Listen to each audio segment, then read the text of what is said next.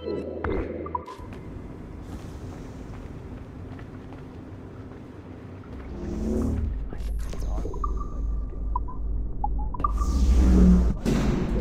reward you for your services to me, I am granting you level 3 security access.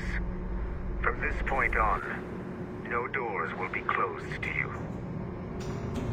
In the distant past, the Assassins had a noble goal, that of peace.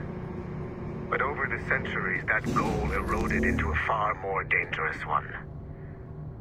Freedom.